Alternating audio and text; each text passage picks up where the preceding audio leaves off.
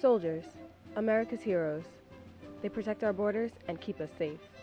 In recent history, the U.S. government has provided medical, financial, and psychological support for families of soldiers.